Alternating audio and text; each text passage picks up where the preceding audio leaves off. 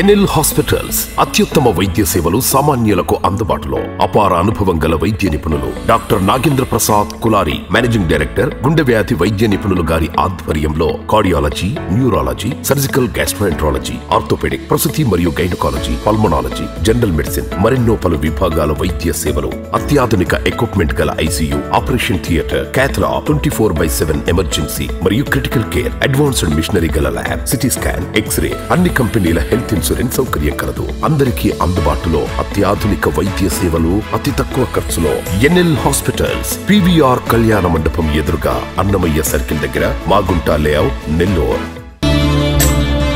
శుభాకాంక్షలు. M three news మరియు ఎంత్రీ TV channel ప్రేక్షకులకు మిత్రులకు మరియు శ్రేయోభిలాషులకు శ్రీ క్రోధినామ సంవత్సర ఉగాది శుభాకాంక్షలు.